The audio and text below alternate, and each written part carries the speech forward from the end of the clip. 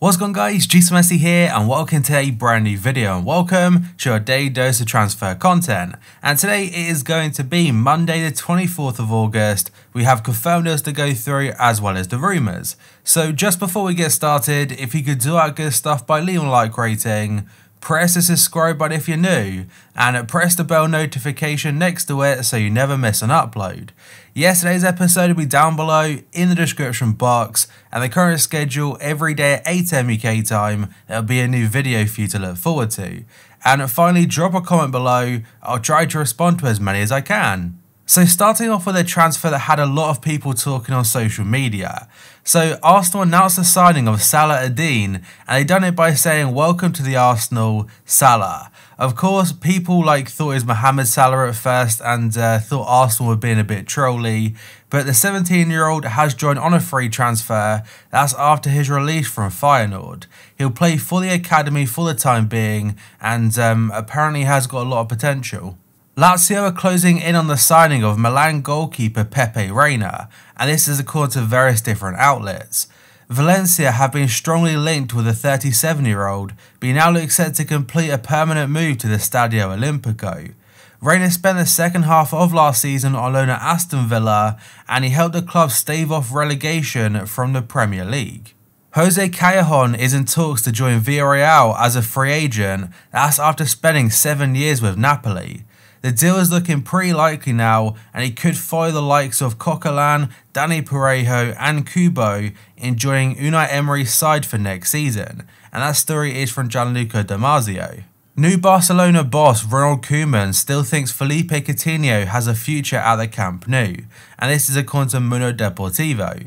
The Dutchman is planned to speak to the midfielder about his career ambitions. That's after the Champions League final between Bayern and PSG, which for you guys would have been last night. Coutinho is currently on loan at Bayern, but still has three years left to run on his current contract with Barca. And who knows, maybe him staying at Barca for next season could do in the world of good. He's a player that, for Liverpool for example, he was so, so good and he essentially warranted the 140 mil Barca spent on him. It obviously didn't go to plan for him in Spain, and I think under a new manager with a fresh slate, it could be a great opportunity for him, and uh, Barca might try and make that a possibility. AC Milan are ready to steal a march on Arsenal, that's by launching a bid for Real Madrid midfielder Dani Ceballos, and this story is from The Telegraph. The Spain international spent last season on loan at the Emirates, and a return either on a loan deal again or a permanent basis, it looked most likely this summer. There were some reports saying that Madrid wanted to keep him for next season, um, so his future is definitely up in the air. Fulham are the latest club to declare an interest in QPR attacking midfielder Eberechi Eze, and this is according to Sky Sports News. The 22 year old was left out of QPR squad for their pre season friendly against Wimbledon on Saturday. That's in expectation that a move is imminent. Crystal Palace, West Ham, Newcastle, and West Brom, they've all shown interest in Eze, who's valued in the region of £20 million. AC Milan are not giving up on their pursuit of Benfica midfielder Florentino, and this is according to Calcio Mercato. The Portuguese Giants want to keep the 20 year old for at least one more season, and to try and help them do so, they have put a 30 million euro asking price that's to warn the Rossoneri off. Milan, meanwhile, they're still trying to get their man, but they're trying to talk Benfica down from the 30 million uh, to a two year loan deal with an option to buy. Fulham are also trying to compete with a Serie A side and had a bid rejected last week. And I also mentioned the Leeds United rumours, and that was a few weeks ago, but to be fair, Leeds are linked to new players pretty much every single day. AC Milan are getting closer to the signing of Bakayoko. Positive talks with Chelsea have happened over the last few days, and it would be a loan deal with an option to buy in June 2021. Bakayoko wants to return to the San Siro, and personal terms have already been agreed. This story is from Fabrizio Romano. He did mention a few days ago that the option to buy would be about 35 million euros and a loan fee would be 3 million. So from one Frenchman potentially leaving Chelsea, now we have a Frenchman potentially joining. So Sky Sports are saying that Chelsea are in talks, that's to sign free agent and defender Malang Sarr. The 21 year old left Nice at the end of last season, that's after spending his entire career with a Ligue 1 side. If the Blues do sign the France under 21 international, he would be loaned out for next season. Valencia's left back Jose Gaya is a subject of interest from Barcelona, and this story is from Sport. The 25 year old has a 50 million euro buyout clause in his contract at the Mestalla, and the Blaugrana are ready to open negotiations with his current employers. Valencia have already offloaded captain Dani Parejo and Francis Coquelin, that's amid a major squad overhaul. They are unlikely to allow Gaya to leave for a cut price fee, and um, he's one of the few players they aren't really looking to sell. It's like two players they're keeping or trying to keep, the rest, they're on the transfer market. And um, bear in mind, Barca were linked to Angelino yesterday from Manchester City, so they might be trying to replace Jordi Alba. Andrea Pirlo and Gianluigi Buffon have, according to La Quarta, connected Barcelona midfielder Arturo Vidal. The Chilean has previously spent time in Turin and he could be taken back to the Serie A champions this summer. That's after seeing an exit door opened at the Camp Nou. And it could make a lot of sense because Juve are opening up a lot of spots in their midfield. The likes of Sami Khedira has essentially been released, Matuidi's been moved on to Inter Miami, and um, apparently they're looking to get rid of Aaron Ramsey. Nicholas Tagliafico is wanted by Leicester City to replace Chelsea-bound Ben Chilwell, and this is according to the Daily Mail. The Argentina international has long been linked with a move to the Premier League, in particular to Chelsea, and he could end up heading out of Ajax this summer. He'd cost in the region of about 30 to 32 million pounds, and uh, Ben Chilwell is set to exit for about 50. Manchester United see Bournemouth's David Brooks as an alternative target to Jadon Sancho, and this story is from The Express. The Red Devils could sweep for the 23 year old midfielder, that's if they fail to lure Sancho away from the Bundesliga side. Bayern Munich's Kingsley Coman and also Juventus's Douglas Costa, they are both also on United's list of alternative targets. Other outlets are saying United are willing to walk away with the Sancho deal or from the Sancho deal because they're not really willing to pay Dortmund's asking price and Sancho looks like he won't be pushing for a move. A very short story from A Bola in Portugal is that Tottenham have been in contact with Benfica, that's over a possible move for midfielder Pizzi, but as of right now they're yet to make any official bid. The article doesn't say how much he will cost the club, but so far Spurs have bought in two players in Joe Hart and also Pierre-Emil Højbjerg. The next story is from Telefoot Shane. They're saying that Lille have received offers from Leicester City and Inter Milan. That's for 22 year old attacker midfielder Jonathan Ikone, but the club is unsure about selling.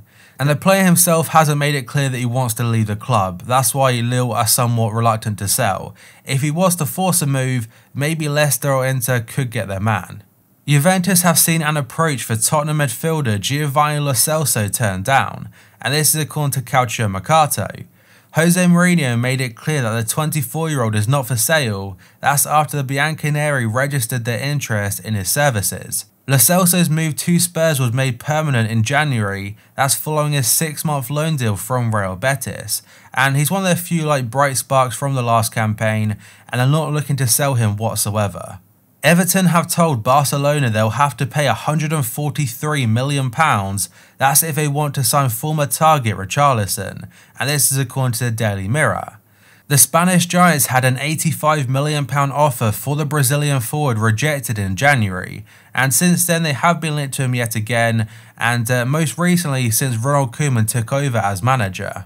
The Toffees though do not want to see their star striker leave, so it would take a huge offer for them even to consider a deal. And this is the second Everton player linked to the Camp Nou in just a few days. Richarlison makes a lot more sense, the other one with uh, Michael Keane, not so much.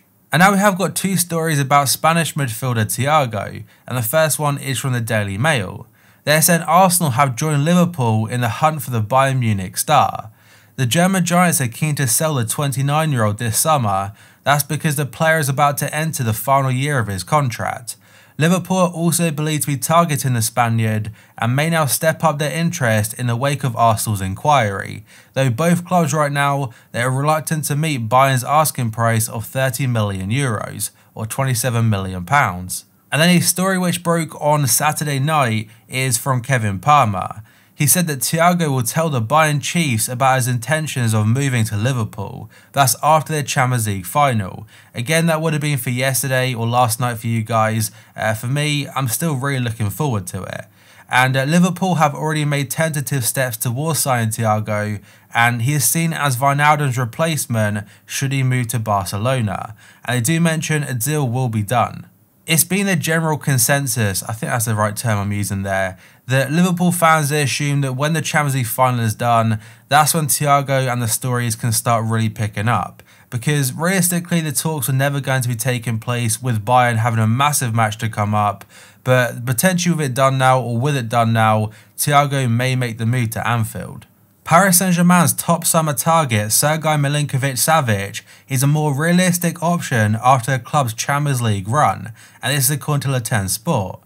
With renewed confidence in sporting director Leonardo to get things right, Club owners QSI, they could be prepared to give the Brazilian more freedom in the transfer market. Barcelona are willing to include Luis Suarez, that's in a part exchange deal to sign Donny van de Beek from Ajax, and this story is from Mundo Deportivo in Spain. The Blaugrana are hoping that offering the Uruguayan striker, it can reduce the final fee for the Dutchman down to about 20 million euros. His uh, asking price I think is about 40, so the rumoured 50 to 20 for Suarez does make kind of sense.